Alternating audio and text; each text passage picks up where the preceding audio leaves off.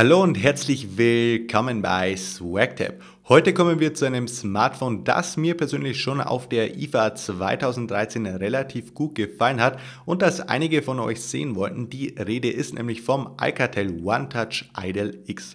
Langer Name, was ist hier das Besondere? Für momentan etwa 280 bis 320 Euro bekommt man doch einiges an Hardware geboten. Wenn ihr den genauen Preis wissen wollt, gilt wie immer in der Beschreibung findet ihr einen Kauflink, da wird immer der aktuelle Preis relativ gut angegeben. Ich denke, Amazon ist da ein ganz guter Richtwert. Wir beginnen natürlich wie immer zuerst mit dem Unboxing und sehen eine meiner Meinung nach recht schicke Verpackung. Das sagt natürlich relativ wenig über das Gerät aus. Aber ich finde, da geht es schon immer ganz gut los. Also ob die Verpackung gut ausschaut, das ist natürlich Geschmackssache. Wir sehen hier auf der Vorderseite Alcatel One Touch Idle X. Hier unten steht dann nochmal Smart Move, genauso hier an der Seite. Und auf der Rückseite finden wir in vielen verschiedenen Sprachen das Alcatel also die Marke Alcatel, die wurde lizenziert, nämlich von TCT Mobile Limited. Das ist der Hersteller, das sind Chinesen, muss, ähm, die das Gerät hier herstellen und die haben eben die Marke Alcatel Alcatel lizenziert. Bin ich sehr, sehr gespannt auf das Gerät. Wie gesagt, es hat mir ganz gut gefallen, vor allem vom Design her und vom Display her. Ich hoffe, dass sie das halten können. Wir durchtrennen hier jetzt mal das Siegel und zwar einmal links, einmal rechts und dann hoffe ich, dass die Verpackung aufgeht. Ja, dann kann man das Ganze hier so einfach runtersliden und dann kommt uns auch gleich schon das Objekt der Begierde hier zum Vorschein. Ich hoffe, ich mache das richtig, nämlich das Alcatel One Touch Idol X. Das schauen wir uns gleich noch genauer an. Hier in der schönen Farbe Rot. Ich habe Rot bekommen, freut mich ziemlich. Das Ganze gibt es auch noch in Gelb und in Grau. Kein Schwarz, kein Weiß, finde ich ganz cool, etwas Farbe ins Spiel zu bringen. Macht Nokia schon lange so, machen viele andere Hersteller nun auch so. Eben auch Alcatel, wie gesagt, meiner Meinung nach eine coole Idee.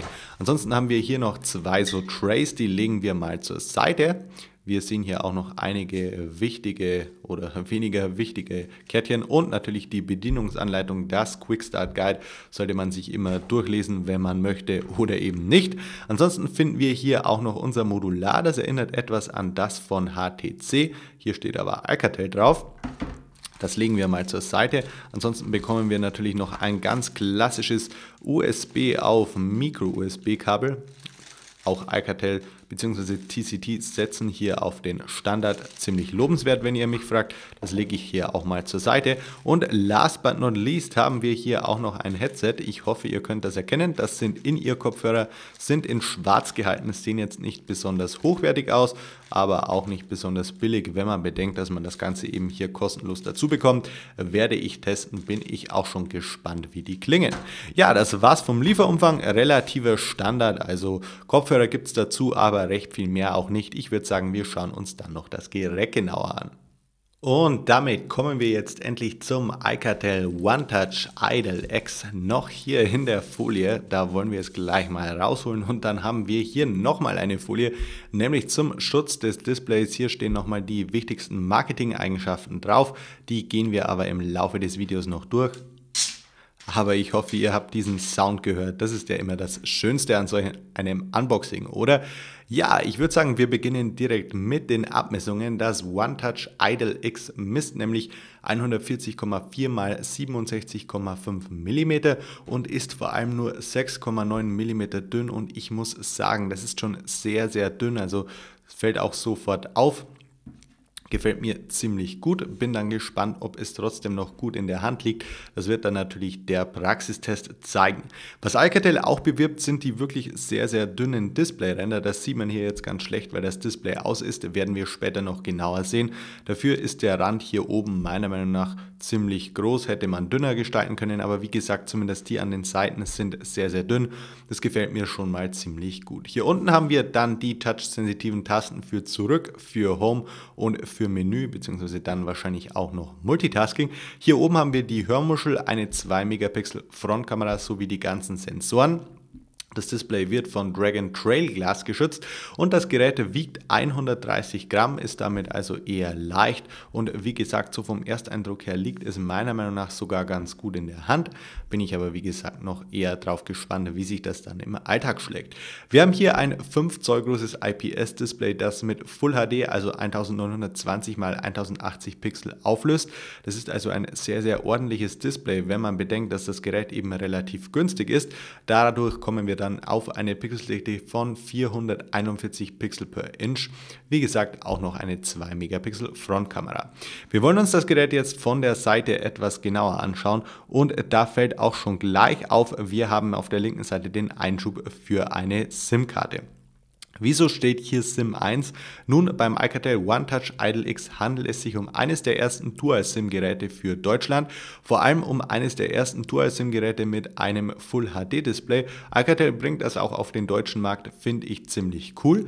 Auf der Unterseite finden wir dann den Micro-USB-Anschluss sowie ein erstes Mikrofon. Auf der rechten Seite dann die lauter leiser Wippe, die ganz gut verarbeitet zu sein scheint. Daneben dann eben SIM 2 steht hier drauf, also der zweite Einschub Einschub für eine solche SIM-Karte. Wie gesagt, finde ich alles ziemlich cool. Der Rahmen sieht übrigens so aus, als bestünde er aus gebürstetem Aluminium, ist aber Kunststoff, wirkt aber ziemlich wertig. Auf der Oberseite dann der Power-Button, für den gilt ähnliches wie für die lauter Laserwippe und daneben dann der 3,5 mm Klinkenanschluss. Und damit wären wir jetzt bei der Rückseite angelangt. Wie gesagt, ich habe hier das rote Modell bekommen. Wir haben auch hier immer noch eine Folie drauf die wollen wir jetzt mal abnehmen. Hier steht schon das Wichtigste drin, wie man die SIM-Karten einlegt. Diese, An oder diese Abdeckungen an der Seite sind übrigens magnetisch, hat man meiner Meinung nach ganz gut gelöst, auch in Sachen Zukunftssicherheit, also weil man eben ja garantieren möchte, dass die Karten nicht irgendwann ja einfach nicht mehr funktionieren, nicht mehr halten. Ich hoffe, die Farbe kommt jetzt im Video genauso gut rüber, wie sie hier wirkt. Sie wirkt nämlich meiner Meinung nach wirklich sehr, sehr geil. Es ist kein irgendwie peinliches Rot, also das sieht genauso aus wie bei den Nokia-Geräten in etwa, aber nicht bei denen, die in glossy gehalten sind, sondern eben bei denen, die in matt gehalten sind. Das hier ist auch mattes Rot, wirkt meiner Meinung nach sehr, sehr hochwertig, hat hier auch so eine leichte Soft-Touch-Beschichtung. Das sollte für einen guten Grip sorgen und sieht meiner Meinung nach eben echt toll aus. Auch das gelbe Gerät wirkt auf den Bildern sehr, sehr schön und natürlich auch das graue oder silberne Geräte, je nachdem, wie man das sehen möchte. Wie gesagt, ich finde es sehr, sehr cool, dass Alcatel da so viele Farben mit ins Spiel bringt. Wir haben auf der Rückseite außerdem eine 13,1 Megapixel Hauptkamera, also auch eine recht hohe Zahl. Hier natürlich noch die Foto-LED, ein weiteres Mikrofon, der One-Touch-Schriftzug, unten der Lautsprecher, auf den bin ich auch schon ziemlich gespannt. Und wir haben einen 2000 mAh starken Akku. Meiner Meinung nach im Vorfeld dürfte das einer der größten Nachteile dieses Smartphones sein, denn 2000 mAh sind nicht besonders viel. Wenn man das so hört, bei einem 5 Zoll Full HD Display dürfte das ziemlich knapp werden. Leider ist der Akku auch fest verbaut. Der 16 GB große interne Speicher kann auch nicht erweitert werden, ist ein weiterer Nachteil. Übrigens, ihr habt hier ab Werk, wie gesagt, 12,7 GB nur zur Verfügung von diesen 16 GB. Das muss man ja auch immer erwähnen. Aber dafür habt ihr eben ein Dual-SIM-Smartphone, wo zwei Micro-SIM-Karten hineinpassen. Wir drehen das Ganze jetzt gleich mal um und betätigen den Power-Button für ein paar Sekunden. Der ist übrigens oben platziert, wie ihr hier gesehen habt und wir hoffen, dass das Gerät hochfährt. Wir sehen Alcatel OneTouch Idle X und während das Gerät hochfährt, gehen wir wie immer die restlichen Daten durch. Wir haben hier als Plattform Android 4.2 Jelly mit Alcatels hauseigener Benutzeroberfläche, die werden wir uns im Review noch genauer anschauen. Ansonsten haben wir als SoC den MediaTek MT6589 Plus, ein Quad-Core-Prozessor, eher unbekannt mit 1,5 GHz je Kern auf dessen Performance bin ich auch ziemlich gespannt. Da kann man natürlich nicht so eine Performance wie zum Beispiel beim Qualcomm Snapdragon 800 erwarten, aber das wird natürlich trotzdem interessant. Ansonsten 2 GB RAM und HSPA Plus, kein LTE, aber eben bis zu 42 Mbit die Sekunde im Download und Bluetooth 4.0. Was man hier auch schon ganz gut sieht, sind die meiner Meinung nach sehr, sehr dünnen Displayränder hier an den Seiten. Das wirkt schon ziemlich beeindruckend. Die Ränder unten und oben sind ziemlich groß geraten, aber das an den Seiten wirkt schon echt toll, wenn ihr mich fragt.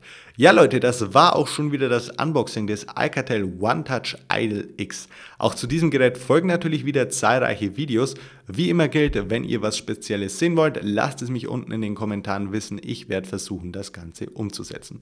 In diesem Sinne hoffe ich natürlich wie immer, das Video hat euch gefallen. Bedanke mich fürs Zuschauen und sagt ciao. Bis zum nächsten Mal.